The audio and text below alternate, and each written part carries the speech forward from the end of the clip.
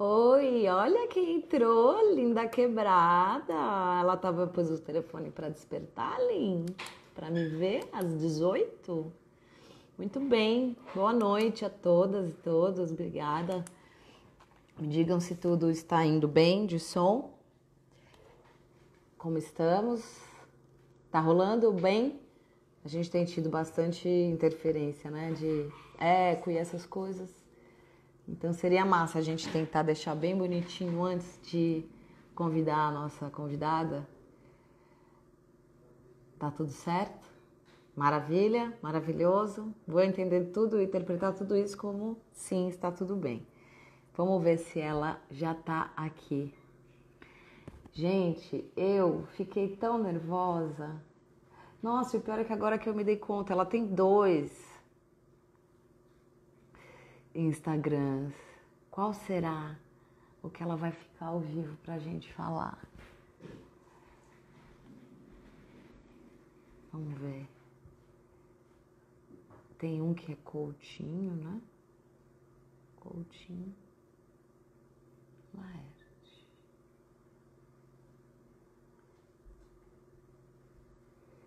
Ah, ainda não entrou. Ah, eu nem combinei isso. Olha só, fiquei tão nervosa com a com essa conversa que eu esqueci de combinar com ela com qual Instagram ela queria fazer. Bom, nenhum dos dois tá ainda online. Ela deve entrar já já. Mas vou esperar enquanto ela não entra. É conversar com vocês um pouco até ela aparecer. É, ainda não tá. Opa! Uh -uh.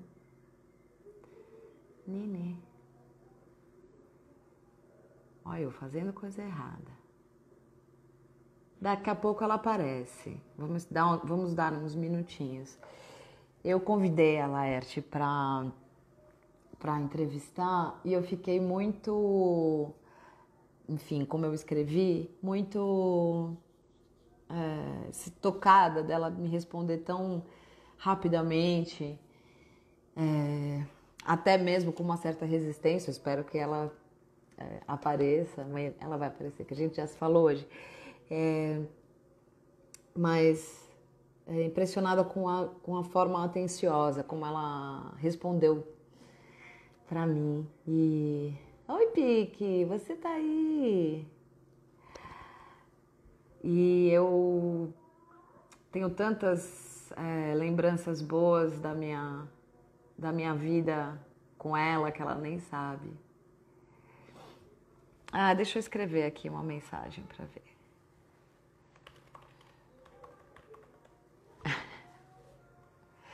É, é, é, é, ela me perguntou: cadê você?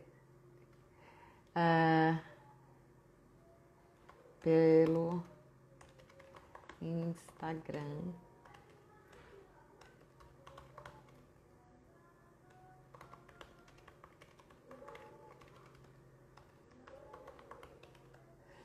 Vamos ver. Agora eu já falei para ela que eu já estava aqui.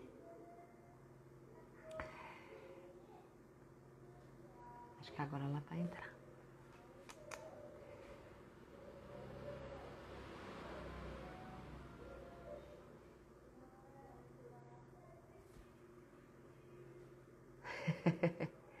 Coutinho Laerte, muito bem.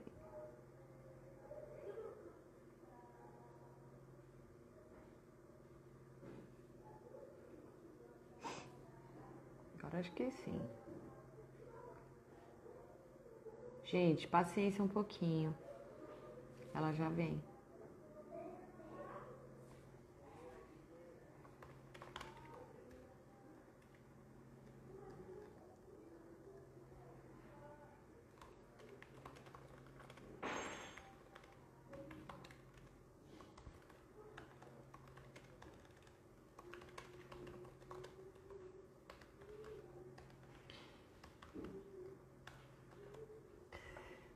É. Ah. É Ela tá entrando, gente. A gente tem que ter paciência essa hora. Tudo tá muito urgente. Muito para ontem. Às vezes demora mesmo, um pouquinho mais.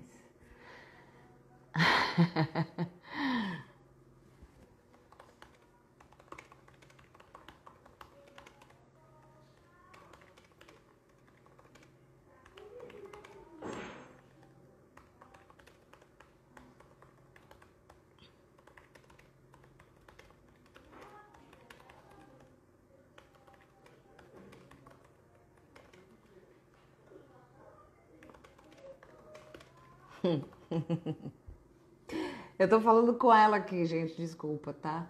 Ela tá, isso já vai, já vai, já vai ser resolvido. Deixa eu contar. Bom, antes de, de ela chegar aqui, algumas pessoas me perguntaram deste boné. Esse boné é de uma marca de um grande amigo é, pernambucano que mora em Salvador, que se chama Cássio. Uma coleção incrível que ele tem, que chama Exu Motoboy. Eba! Apareceu! Daqui a pouco eu falo do.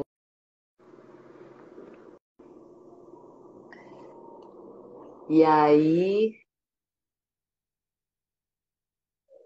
Oh, acho que vai. Oiê! Como tá? Tudo bem?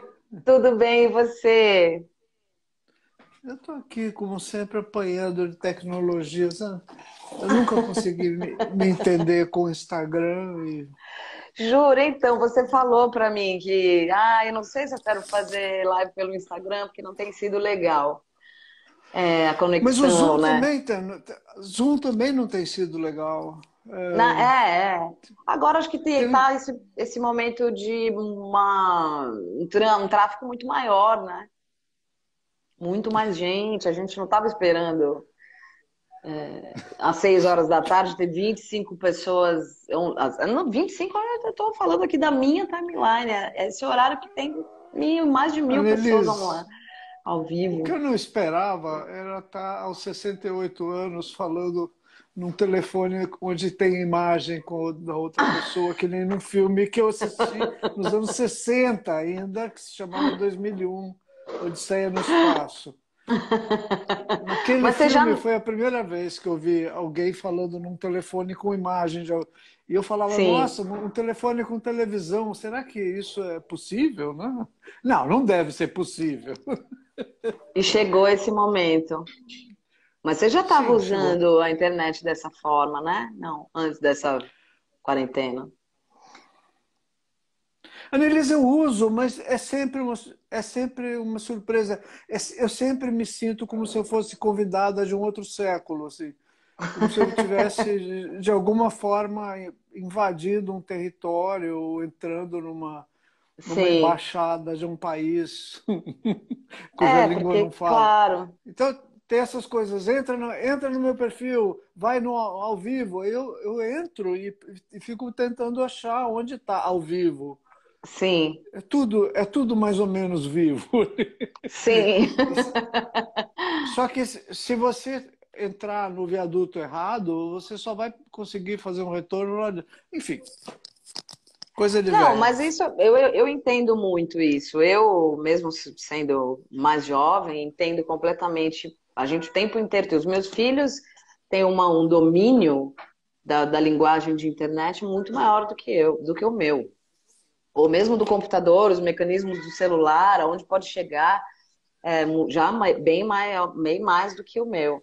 Mas acho que com você tem a ver isso por conta da, da própria escolha da comunicação, né? Que é, é o desenho, que é a, é, né, a escrita.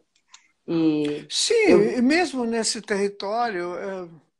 Desculpa, Anelis, eu te cortei. Não, não. Eu ia te dizer que eu vi que há, há poucos dias atrás, eu não sei se o perfil Laerte Genial é seu ou é de fãs. Não, é da, de uma amiga. Ah, então, que ele chegou a meio milhão, né? Enfim, super legal. E aí eu fiquei muito curiosa de saber como é que é essa nova comunicação, mas você já estava me respondendo isso. A, a internet mim também é... é uma coisa é, assustadora também o, o, meu padrão de números, quando eu comecei a publicar, era assim, 10 mil exemplares. Toninho virava para mim e falava, vendemos 15 mil, ou vendemos 20 mil. Eu caía para trás e falava, gente, alcancei a glória. Hoje ele uhum. não, hoje ele vendia 100 mil, assim, para ele era, eram esses os números. Mas para mim, assim, um, uma intelectualzinha universitária, eu era uma espécie de Angeli universitário. Assim.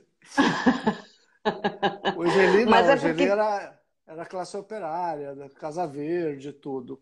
Sei. Não, eu era uma burguesinha que estava ali desenhando e tudo. Então, para mim, 10 mil, 15 mil, estava muito bom. Estava incrível. E, e, e, você contabilizava também a, as tiras do jornal? Eu não, tinha, eu não fazia não, de né? jornal. Nessa época a gente fazia revistas e vendia em banca. Essa Sim. era a nossa. Essa época que você está falando é que época? Anos 80. Uhum. Anos 70, 80. Mais 80, né? É, acho que um Anos... pouquinho ali, foi quando eu comecei ali também a ter contato Não. por causa do meu pai. Ah, quando seu pai, a ler vocês. Estava né? no Lira. Tava, é. tava, tava explodindo, né? Exatamente. A gente tinha essa esse estímulo à leitura através desses quadrinhos, né? Geraldinho, Piratas do Tietê. É, de alguma forma, uh, seu pai, para quem não sabe, Tamara Assunção. É, boa, obrigada. grupo, grupo, grupo, Rumo, Premeditando Break, uh, as revistas da, da editora Circo, Chiclete com Banana, Geraldinho, Geladão. De alguma forma, todas essas manifestações estavam mais ou menos sintonizadas. Uhum. Uh, eu não sei, meu negócio nunca foi muito música, apesar de eu ter uh, feito faculdade para ser música, isso é mesmo? não se deu. Caramba! É, pois é. Você fez o quê? Ainda bem que eu não fiz.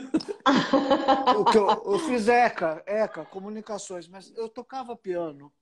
Sim. É, e a minha ideia era ser compositora, trabalhar com música e teatro, música e cinema, ou coisas assim. Eu, eu tinha um, um projetinho desses na cabeça.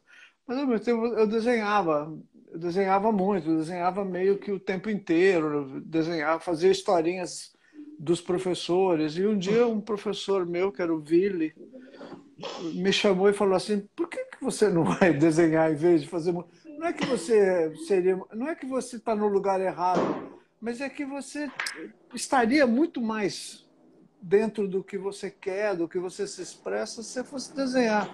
Quantos anos eu, mais ou menos você tinha? Uns 18. Não, mais, mais. Que isso, 18. Eu tinha 20 e poucos. 20 e poucos. Você vê como é lento mesmo, às vezes, a, né? A, a burguesinha a, que não trabalhava aos 22 anos.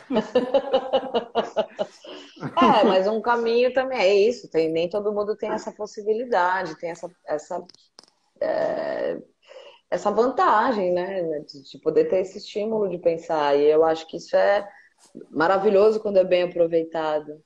Acho que não tem nenhum problema em ser a burguesinha que não trabalhava visto eu hoje também sendo acho. a pessoa que você virou, né? E que você é, a importância que a sua obra tem para o Brasil. Eu ainda não virei. Ainda não virou? Não, eu tô virando ainda. Tô indo, ainda, é. Ainda é verdade, é né? É muito afirmar, afirmar é um pouco perigoso. Mas é, eu ia dizer isso porque eu tenho uma filha de 18 anos e é. E aí, é, ela faz 18 domingo. E ela. Parabéns! O outro, o outro veio corrigir. E aí eu fico me lembrando de, da minha adolescência, quando eu tinha 18, meu pai, a referência da minha família, da, da, da, do trabalho dentro de casa, o que eu queria fazer, o que eu não queria fazer porque era o que meu pai fazia. Essa idade confusa, que é aí dos 17, 18 até uns 20 e poucos mesmo, né? Acho que independente da, da, da classe. Claro, há pessoas que têm certeza absoluta do que querem fazer e aonde querem explorar é, o conhecimento. Outras coisas aparecem né, na vida. Você Mas já você desenhava. Era música sempre? Eu não. Eu Não? comecei a cantar com meu pai. Ele me, eu gostava muito de música, eu gostava muito de escrever, mas eu gostava de artes plásticas. Eu namorava um menino que era arquiteto, e aí eu fiquei com essa coisa. E aí eu queria fazer vestibular para artes plásticas. E eu já trabalhava no comércio. Eu não tinha muita noção assim. Eu queria sair de casa sabe? Eu queria um trabalho que eu pudesse me sustentar para poder não viver mais na casa dos meus pais. Então, o que me condicionou também não foi só eu vou fazer o que me der tesão. Eu fiz milhões de coisas para poder me sustentar e sair da casa dos meus pais, que era o que eu mais queria fazer. Isso foi meu, meu impulso maior. Então, e eu já cantava com ele, mas eu tinha muita aflição da música. Eu, eu não eu não queria fazer música porque eu achava que é, tinha que ser como ele fazia. E eu via um jeito muito sofrido, uma vida sofrida, uma, né, uma toda essa uma perseguição, essa marginalidade, esse engessamento que ele, onde ele foi colocado, uma vida de muita restrição. Então, eu achava que se eu fizesse música ia ter que ser daquele jeito, e se fosse daquele jeito não ia ser, enfim, eu, né, eu ia ter uma vida de sofrimento. Isso sim, 16 anos, claro, 15, 16 anos, era como eu conseguia imaginar isso, porque a música era o trabalho que sustentava a minha família. A minha mãe era dona de casa. Então o dinheiro vinha da música eu tinha compreensão é, desse ofício, né, do, do, dinheiro atrelado à música como um ofício. Então Você eu entendi. em 80, né? Eu nasci em 80. Meu filho também.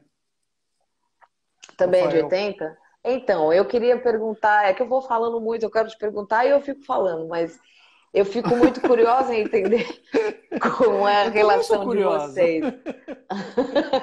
Não, pode, ah. pode perguntar também, claro. Porque eu vejo ele muito apaixonado por você, apaixonado pela sua obra e, e organizou aquela, aquela exposição que teve, né? Aquela exposição não. Lá na Paulista. É, como falamos agora. Era ocupação. ocupação. Exato, é, mas, ficou mas linda. É uma exposição.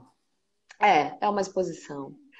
E eu ah, me identifico muito com ele. Eu não conheço ele pessoalmente. Conheço o trabalho dele, sigo e tal, mas me identifico com essa figura do filho que, que se dedica, de certa forma, a manter, a, a valorizar a memória. E a gente está falando, né? Eu estou falando de uma pessoa que já foi. E ele se dedica contigo ainda viva é super bonito, assim, eu fico emocionada porque é difícil, né? E ele, e ele também é um cartunista, ele também é um desenhista. Ele não é bem um cartunista. Essa, eu acho que essa foi a, a, a, a sabedoria dele. Ele não, não, não entrou no meu território que é de desenho de humor. Ele tá no, ele desenha e desenha, eu acho, eu acho muito melhor que eu. Uh, mas num outro registro, num registro de, de desenho realista, de desenho. Não sei, o cara é um artista plástico e tudo. E, mas eu também sou apaixonada por ele e pela minha outra filha também, pela, pela Laila, que nasceu em 90. A Laila Sim. é professora de inglês e tudo. Ah, obrigada, me mostrou, me mostrou a minha netinha desenhando letras. Ela tem ah. dois anos, né? Então a, noção dela do que é letra e do que é coisa é, é uma noção de uma criança de dois anos. Mas ela desenhando o M de Marcela, assim, sabe? Aquele, é uma montanha, uma cordilheira. Assim, que não acaba. Eu adoro, eu gente. Cair para trás, assim, de ver. Ah, que... Isso, e ela, isso tudo assim, né? Ela tudo também assim, desenha?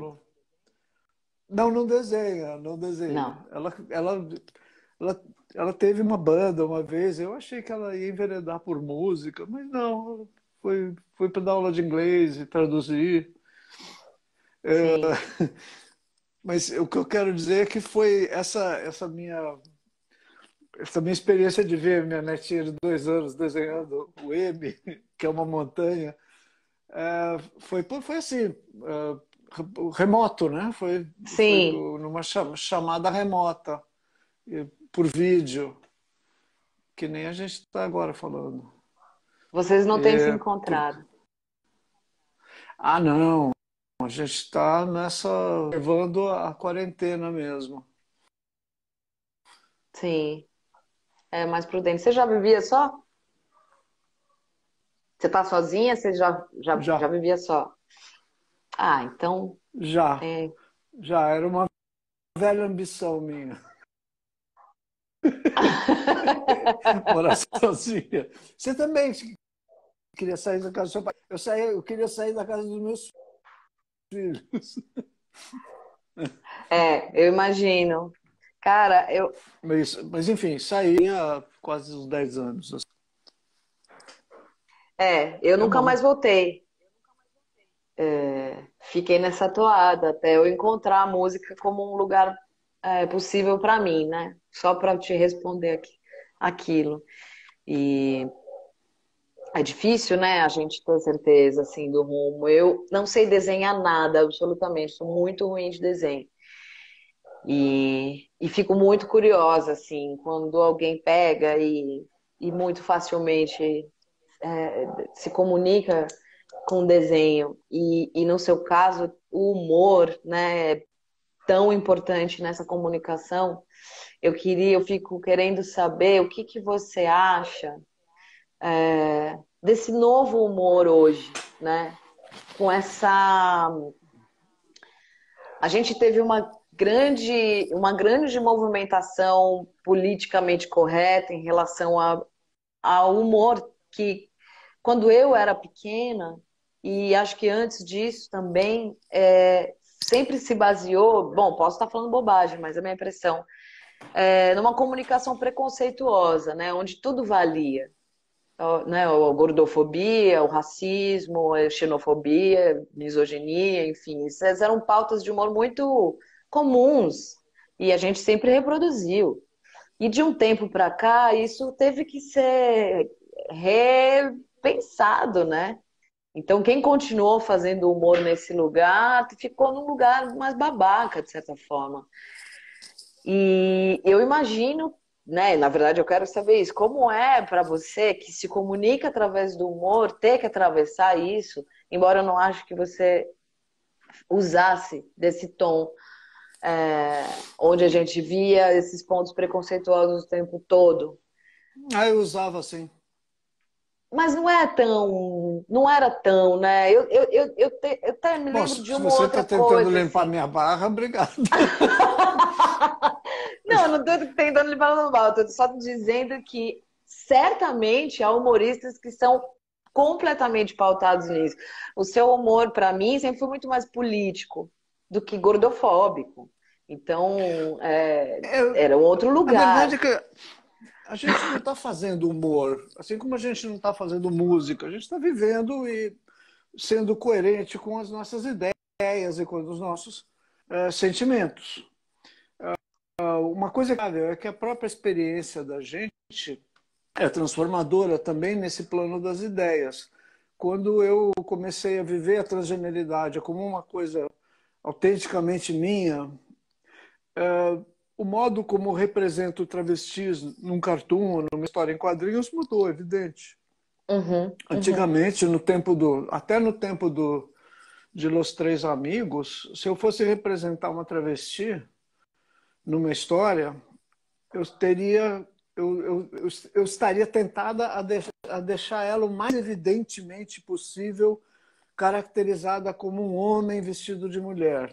Então uhum. eu provavelmente deixaria pelos aparecendo, eu deixar, daria essa pinta de que se trata, na verdade, de um homem. Por quê? Porque a visão humorística clássica ou tradicional, uhum. uh, ela se baseia muito em ideias prontas, em ideias que são, que são do senso comum. E para o uhum. senso comum, a travesti não é uma pessoa digna. A travesti é uma, é uma excrescência, é uma aberração. Uhum. Para esse senso comum conservador, assim, né? Uhum. O grande problema é que muitas vezes o humor tem que dialogar com esse tipo de senso comum. Tem que é, representar um mundo reconhecível para essa, para essa visão, que é uma visão estereotipada, que é uma visão preconceituosa, que é uma visão cruel, muito cruel. Todas essas populações de eh, gays, de travestis, de sapatões, e, e índios e negros, judeus, estrangeiros, todas essas, essas populações são que aí quando a gente junta tudo dá o mundo inteiro. Cruéis, né? É, quando a gente junta menos, todos... menos o cara que está ali no, na posição do normal. Exatamente. Então, quando você está contando uma piada, você sempre escolhe uma posição como uma posição da normalidade. A partir dessa posição de normalidade, você lança os seus dardos, suas visões críticas sobre todo o resto e vai detonando tudo em volta.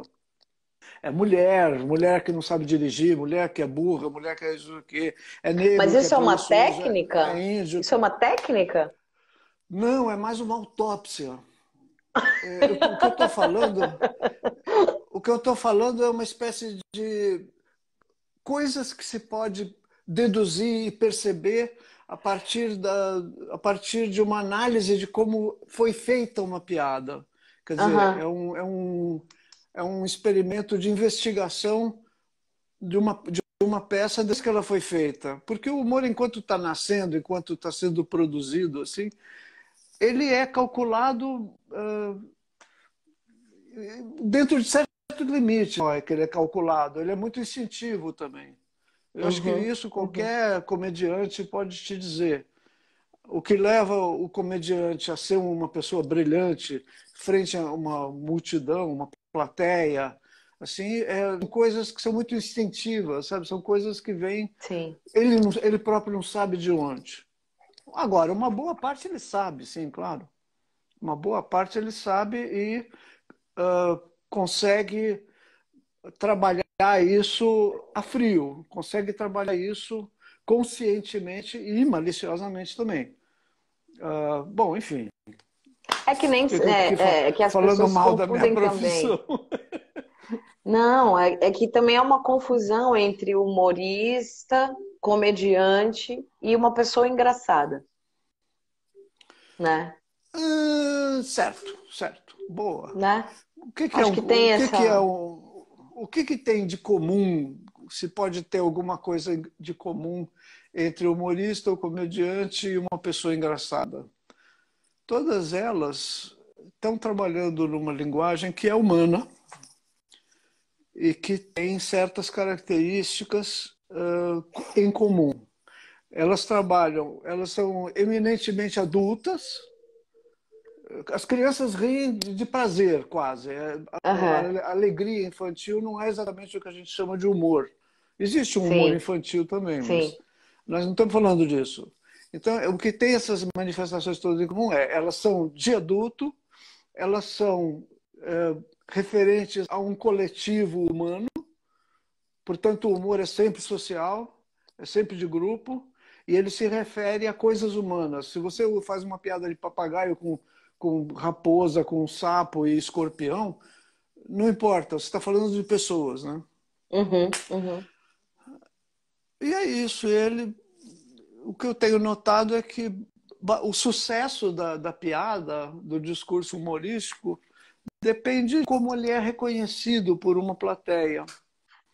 Então, a pessoa que, que é profissional disso tem, dois, tem duas grandes alternativas ou ela se rende ao, ao, ao, ao senso comum da plateia, uhum. ou, elas, ou ela é coerente com as próprias ideias. Eu acho que grandes humoristas e grandes comediantes que a gente vê hoje e acompanha são pessoas que combinam muito bem a, a, coerência interna e as próprias ideias com um, um discurso que precisa se dirigir a, a, aos, aos, coetâneos, aos, aos conterrâneos, às pessoas que vivem com a gente.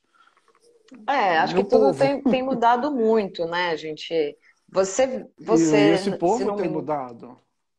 Sim, não, é, foi, foi uma, uma grande, é, um grande desafio, eu imagino, para toda a comunicação. Na verdade, a gente está aqui falando de uma pequena parte de estudo que é o, o, discurso humorístico, mas é, que, né, que a gente fala assim, nossa, como era possível? Quando eu era pequena, eu assistia os Trapalhões e, e então era um festival de piadas horríveis e preconceituosas, o Mussum que sempre era o bêbado e que, né, e o outro e o Zacarias que era o gay, e como sempre tinha uma coisa com a mulher também muito complicado. E como a gente normalizou a, a, o humor era, naquela época e cresceu. Normal.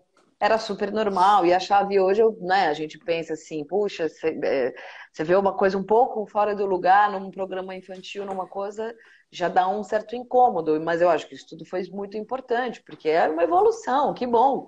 A gente andou para frente, o humor não parou de existir. Eu vejo o humor de uma forma incrível hoje em dia. Você, quando escreveu, você escreveu para o Sai de Baixo? Tô, tô, enganada? Não, né?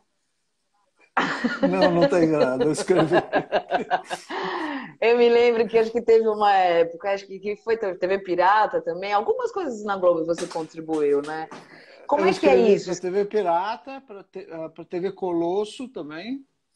Ah, TV Colosso, aquele de cachorro, de, de infantil. Cachorro.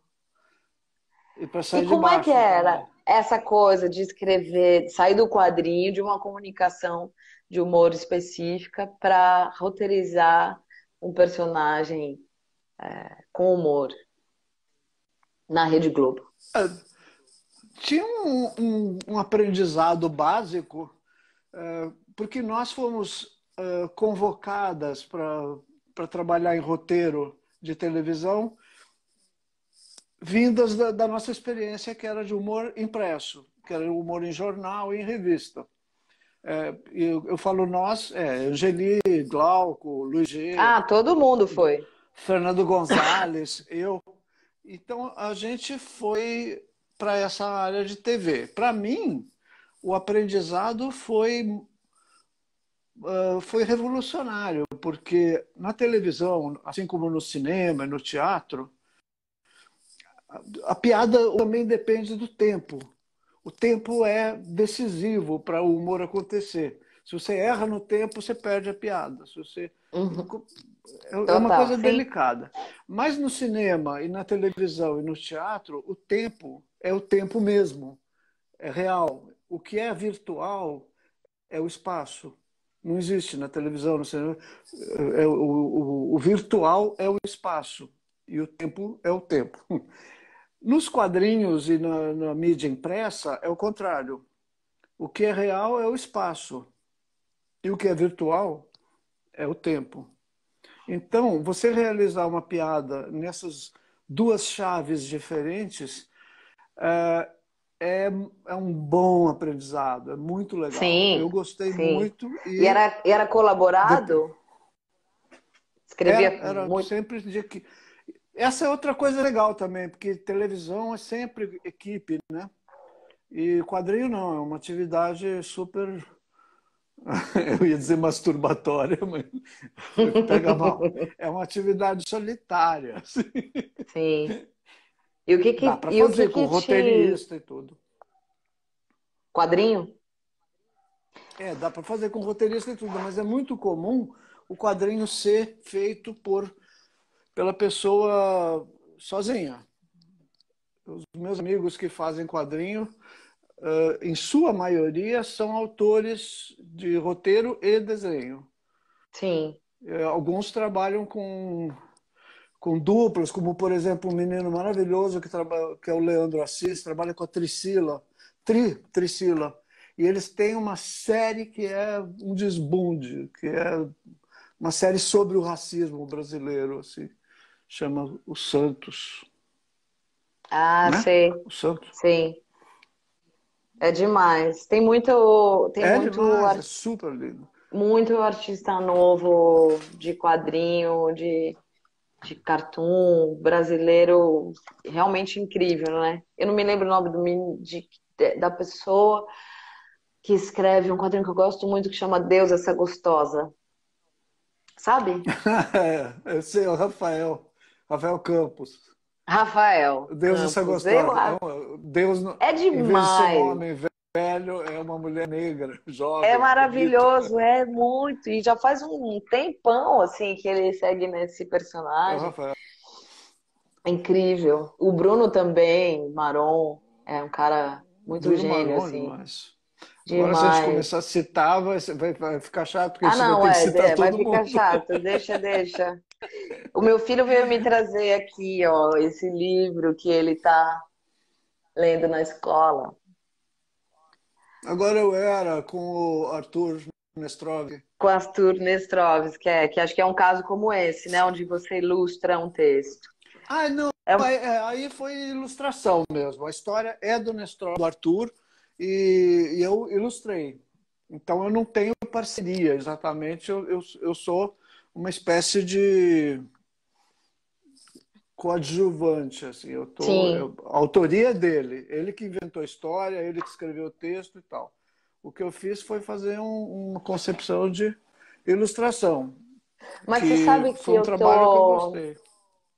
Eu tô fazendo uma é, fechando com uma editora para lançar um livro infantil do meu pai. Ele, ele deixou muitos, muitas coisas escritas. Ele deixou uma coleção.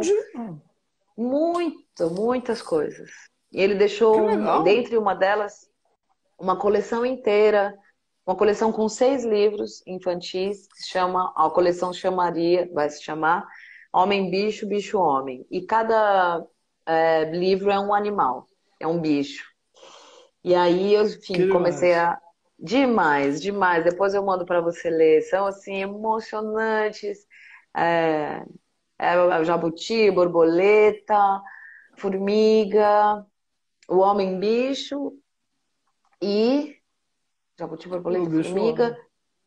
o homem bicho, bicho homem, não falta um, é um bicho que é a Mafalda e a barata. que legal. Você vai, você vai editar isso esse ano? Eu vou editar, estou começando, é, a gente vai começar com um, que é o Homem Bicho, que é para bebês, porque tem uma, enfim, toda uma viagem de contagem, de letras que e números. Demais, muito demais. legal. Nossa, e aí, conversando com a editora. Putz, vou te mostrar. Conversando com ela, ela, a gente, ela ficou me falando da importância da ilustração. Como, claro, é, vai ser uma ilustração a partir de um texto que já existe, um texto que tem já uma carga póstuma, enfim, mil coisas, mas é, para a criança, a ilustração é metade da história, né? E dependendo da idade, mais ainda. É, é eu, eu gosto de fazer ilustração para livro infantil, especialmente para livro infantil. Eu, eu fiz um para Maria Rita Kel, eu estou fazendo outro para Maria Rita Kel. Ah, que demais! É, eu só conheci esse aqui é. do Arthur. É, não é muito frequente, porque, ah, sei lá, é fazer tira, fazer quadrinho, não é que é difícil, é, é que fazer tira e quadrinho me absorve muito. É, e eu estou também metida num projeto de uma história mais ou menos longa, que está me dando um trabalho muito grande. Quer falar sobre isso ou não? Eu, se você quiser, eu falo, mas é, mas eu não sei se a gente vai muito longe. Ou, não, é porque. Eu já, é. eu já falei até dessa história em outras entrevistas. É uma história é. que é ambiciosa. A ideia era fazer um romance gráfico de sexo e política, assim, que, que pegasse dos anos 70 até hoje, assim. Hum, você imagina. E eu fui fazendo e a, e a, história foi meio que se sentando, assim, quatro, cinco anos ali em, em torno da virada dos anos 60 para os anos 70. Bom, e estava em 400 páginas já. Aí eu falei, não, tá esquisito demais essa história. Para começar, eu acho que eu não vou dar conta. Para continuar, eu acho que ela está meio. não está parando em pé. Eu não sei, eu, eu, discuti isso com o meu editor, que é o André Conte, e ele falou assim: não, tá, tá bom, continua por aí. Eu, mas eu não, não sei, não, não me convenci muito, não, e eu estou com uma outra linha de trabalho em cima do mesmo material. Assim. Então, é uma história que está me dando um bom trabalho. Mas é um trabalho que está se dando antes dela ser feita. isso, por isso eu nunca passei. Eu sempre Sim. fiz história em quadrinhos meio de, no faro, assim. Eu, eu começava a fazer história e continuava, e ia fazendo. É, e, e, eu não sei, boas ou ma, com bons ou maus resultados era o meu sistema de trabalho. É, nesta história eu estou me dando a essa a esse desafio, que é construir a história conceitualmente antes. Rabiscada, antes, tudo. Mas antes de que você diz? Antes, antes, antes de desenho? sentar e começar a desenhar mesmo. Não, eu, eu desenho. Vai, vai, vai um pouco junto. Ai, Olha, que demais! Ó, dá para você ver? Dá. Agora então, dá. Isso aqui, isso aqui é o estado. É o dá estado em, em que em que estão as histórias, em que está cada página, entendeu? Uhum. Eu tenho 400 dessas. Minha nossa. bom, bom, você remou um trabalhão aí bom, hein? É, é muito, pois é. Eu, não é que eu tenho não é que eu fique desanimada com a quantidade de trabalho que vai dar. Eu fico é, numa dúvida que é muito grande e me deixa muito insegura em relação ao caminho que eu estou. Se isso aqui uhum. é uma história consistente ou não. Sim. É, e eu ah, estou chegando à conclusão que não, que, que o caminho é, é outro e eu já descobri.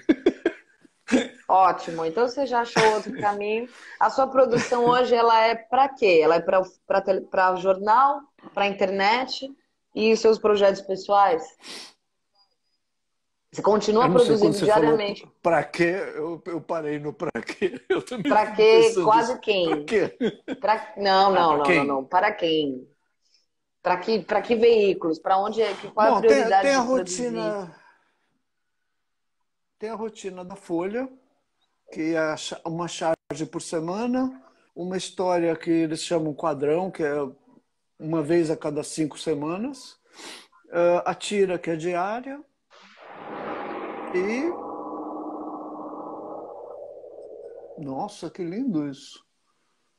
Parece uma descarga. é o lixeiro.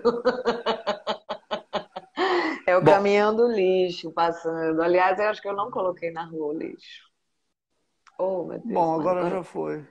Agora já foi. Amanhã eu boto. Nossa, nossa homenagem aqui aos profissionais que estão garantindo a cidade Nossa, limpa. Que estão garantindo a cidade limpa. E eu fico sempre meio chocada como eles estão trabalhando tão desprotegidos. Sempre observo, sem máscara, sem luva.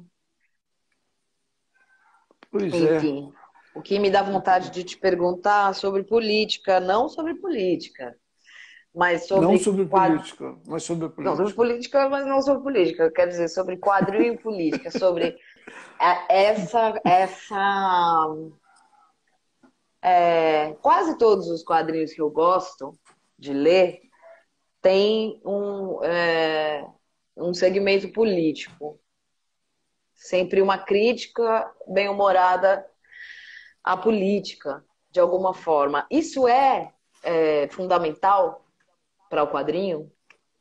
Ter essa não. combinação? Não? Não, depende do autor ou da autora. Para mim é. Eu, é porque questões políticas, para mim, são importantes.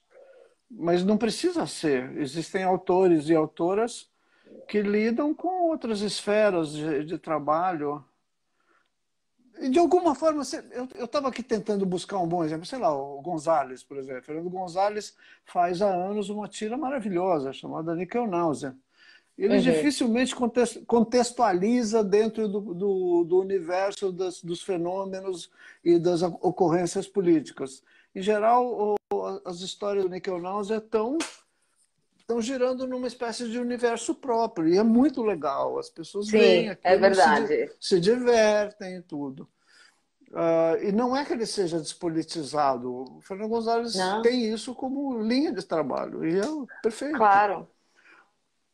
Você uh, gosta do, do Porta sei. dos Fundos?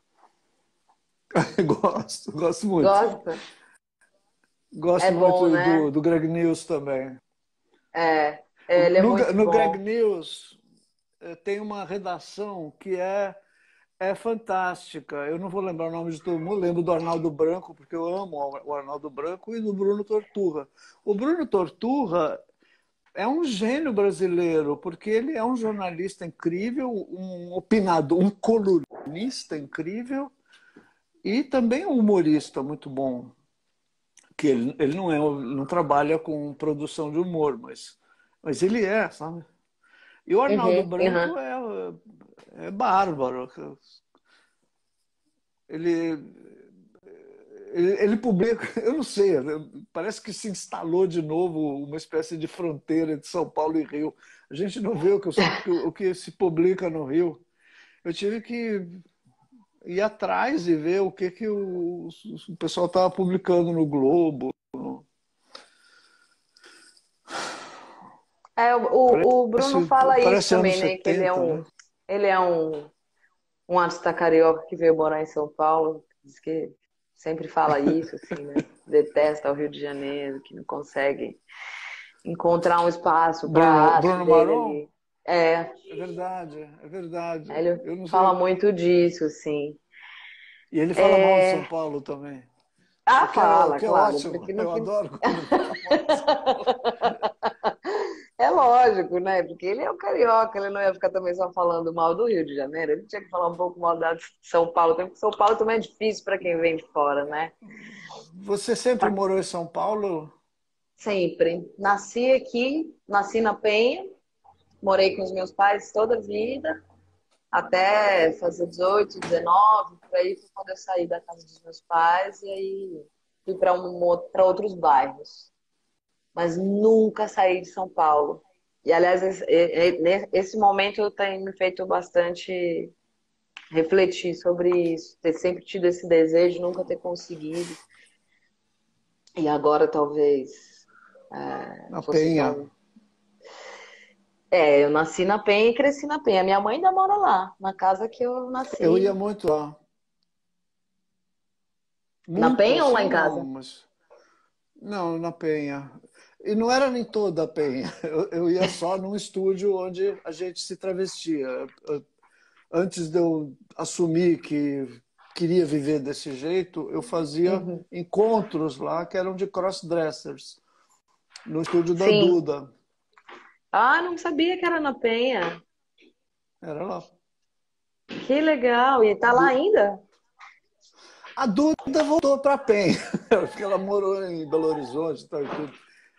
E eu não sei bem como é que ela está se apresentando agora, se é como Duda ou como Gláucia, que é o nome dela. Mas ela disse que ia reorganizar o espaço para receber pessoas que gostam de se montar e tudo. É, a Penha é um bairro. muito importante.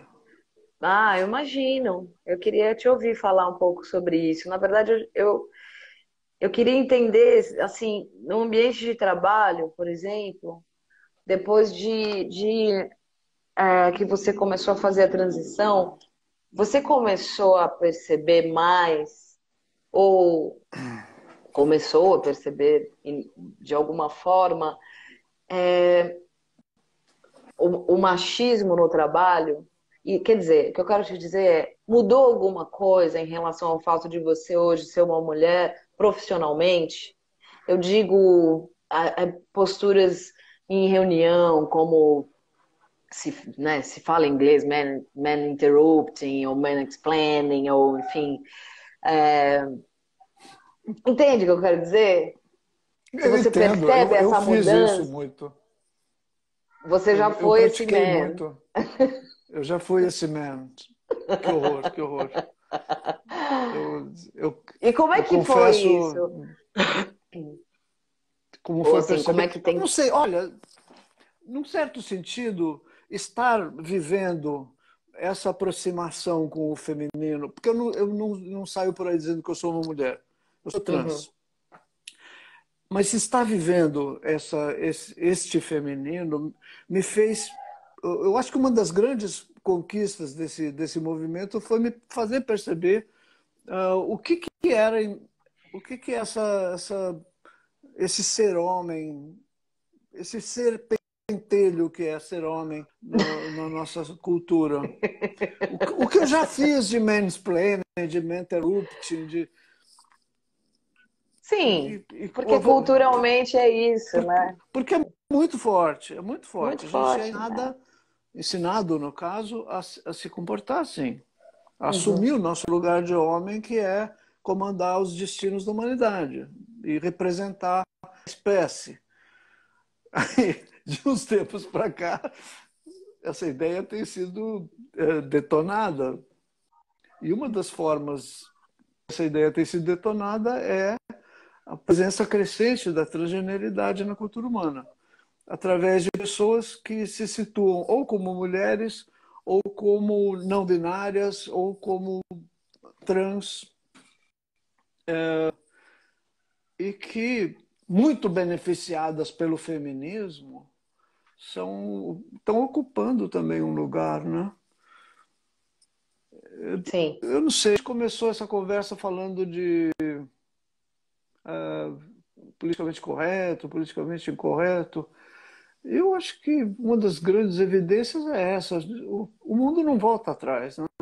Uhum. Essas conquistas todas que aconteceram são conquistas reais e, e ninguém vai voltar para a cozinha, ninguém vai voltar para a senzala, ninguém vai voltar para o gueto. Aí, Sim. E as pessoas e, tu, e, a, e, a, cultura precisa se reorganizar em função dessas coisas. E eu acho que já está se reorganizando.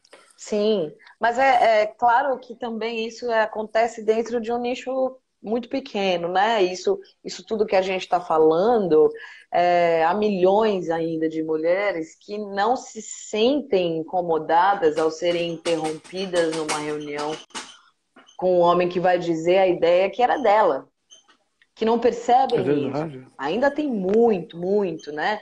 Fora, enfim, outro, a gente está ainda falando de um, de um lugar do, do machismo quase intelectual. Há o pior dele, né? A violência, enfim, mulheres sendo assassinadas diariamente. Porque é isso que ele faz, ele mata. O machismo mata. De depressão ou anula. assassina. Então, anula, exatamente. É. Então, eu acho sim que está mudando muito eu vejo com muita coragem é, muita gente se colocar de uma forma mais clara, mais nítida em relação às suas novas escolhas.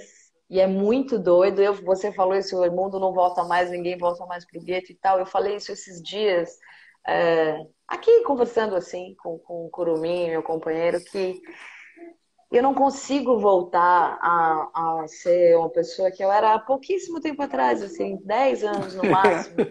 Pouquíssimo é, tempo. É... É tudo pra frente. Quem falou isso é... foi a Pete. É tudo para frente, exatamente. É impossível a gente Ela que falou, voltar. Já, os, os negros não vão voltar para as alas, as mulheres não vão voltar para o tanque e os gays não vão voltar para o gueto. Então, Exato. arrume-se. Né? Exatamente, é, é, é, verdade e a gente e mas também acho que é importante a gente ter sempre essa consciência de que ainda é num nicho, numa bolha, né? Como a gente gosta de falar, enfim, em relação a tudo o que acontece também no mundo virtual. Aqui no é, Instagram. É... Diz. É uma bolha, é uma bolha, mas mas se move, como Galileu Sim. diria. No entanto, se move. Acabei no de ler que uma, uma, uma, como se chama? Uma policial militar em Santa Catarina conseguiu fazer a transição completa para dentro da corporação. 20 anos de corporação, ela, Uau. ela, ela era de um gênero, né? E conseguiu fazer a transição e a, o reconhecimento da nova condição dela. É, isso não é pouca coisa. Eu acho que tem um significado também a respeito disso que a gente chama de bolha. Quer dizer, Sim. Tá, tá rolando, rolando. Tá rolando. Não, tá rolando muito. Eu. É, quando eu era pequena, um, um, dos melhores amigos do meu pai era um travesti que chamava Carlinhos Betânia. Ah. Você lembra do Carlinhos? Você conheceu ele? Não. Não. não. É... Lá foi só de. que legal. Prazer. Ah. Sim. O Carlinhos era incrível, assim, ele, é, enfim, eu me lembro muito da minha infância, ele até os 10, 8, 10 anos, ele era muito presente, ele é, morreu, eu ainda era criança. E eu me lembro de uma situação, eu, a gente não vai ter muito tempo, eu vou ser rápida. Eu me lembro de uma situação que ele estava com a gente no metrô, e imagina, estava meu pai, preto, retinto, com um travesti, no metrô, indo para Penha, e a gente, e aí entrou, entraram pessoas no metrô e começaram a provocar eles, enfim, foi super, e, é, super desagradável, eu estava junto, e meu pai, e o Carlinhos ficava muito sentido, ficava sentido pelo meu pai ser ofendido por ser preto, e meu pai ficava sentido pelo Carlinhos ser ofendido por ser travesti. E eu, muito pequena, olhava para aquilo e não entendia nem por que, que eles estavam sendo ofendidos, porque eu amava tanto aquelas pessoas. Então, nesse, nesse lugar, eu tenho certeza que mesmo que as bolhas realmente se movem, né? Como hoje eu consigo que os meus filhos tenham uma relação completamente diferente disso. É, é diferente de como foi a, a mim quando eu era pequena que era com medo, que era com uma era não podia falar muito. Claro, a gente sabia tudo, a gente sabia que o Carlinhos era uma travesti, mas é, e nem era um assunto, não tinha que ficar conversando ou explicando para as crianças as coisas. Na minha casa pois era é. assim, mas nenhuma Por, outra casa era assim. Exatamente. Você entendeu uma coisa, não é que você achava que todo mundo era travesti, mas você entendeu uma coisa de dentro uma, você a partir de uma posição uh, afetivamente correta, né? E Sim. próxima. Então, que é, o, que é o que eu acho. Sim, é, é, isso, é, que é o que eu acho que acontece aqui. Eu entendi. É, e eu tive essa sorte de conviver com, desde criança. A maioria dos meus amigos, não, quando eram crianças, não conheciam travestis. Isso, Nunca tinham é, visto umas. Não, não, não sabiam. Eu conhecia, tinha, tinham travestis que frequentavam a minha casa. Meu pai fazia parte de um grupo artístico que explorava a cidade de São Paulo. É, é, as sessões malditas, enfim, tudo isso. O seu pai é... foi uma das pessoas que inventou São Paulo. Exatamente, exatamente. Então eu tive isso, eu me sinto de certa forma embolhada, mas eu acho que essa bolha se move sim. Aqui no Instagram, Laerte, a live tem uma hora e quando vai dar uma hora da conversa, ela derruba. Então, todas as então... minhas últimas, eu tenho perdido a oportunidade de me despedir e de agradecer, e de falar coisas fofinhas antes da gente dizer tchau. Eu fiquei muito contente que você aceitou bater esse papo aranha comigo. Eu adoro você. Eu também fiquei super contente. Você é Todo demais. mundo aqui você, te adora muito, você é uma minha conversa filha. deliciosa. Ah, obrigada. A Rubi, minha filha, que vai fazer 18, assim, é muito fã. Tu, a gente pegou, ela pegou o Muchacha tá em algum lugar. O Benedito trouxe aqui o Agora Eu Era. Eles estavam super felizes que a gente ia conversar. É... Eu ia te perguntar uma coisa que é uma bobagem, porque eu Falei, ah, eu vou pôr um boné, não, vou passar um batom. E eu vi que você falou algum dia. Não lembro, uma entrevista que eu vi que você falou assim: não, mas eu não fico maquiada na minha casa. E agora a gente tá assim, né, enfim, furnada dentro de casa. Porra, de vez em quando dá vontade de passar um lápis do olho, né? Caramba. É, eu passei. eu fiquei curiosa, eu falei, será que ela vai passar um batom para falar comigo? Eu queria muito te agradecer mesmo, antes da gente ser derrubada aqui Eu que agradeço. Eu que agradeço, Melissa. Sorte e, e tudo Você de bom. Você é uma ótima conversadeira e um, e um, e um espaço muito gostoso. De... Eu achei que eu ia ficar meio assim... Quando pouco à vontade, mas não, estou completamente espalha aqui. Como uma boa geminiana. Muito obrigada. Obrigada Como é a você. O Instagram derruba no meio do, A gente tem assim? 11 segundos restantes. Agora 10, 9, 8. E a